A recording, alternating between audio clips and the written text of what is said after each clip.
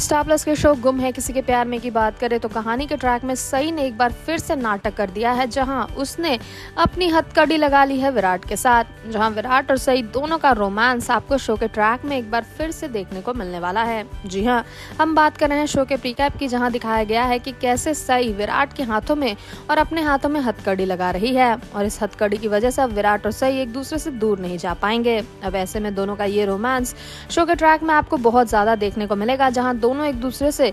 भले ही दूर जाना चाहेंगे लेकिन जा नहीं पाएंगे क्योंकि उसकी चाबी सई ने फेंक दी है तो अब आगे क्या होगा कैसे दोनों के रोमांस में ट्विस्ट का तड़का लगेगा और कैसे दोनों उस हथकड़ी से बाहर आएंगे ये जानने के लिए आप बने रहिए हमारे साथ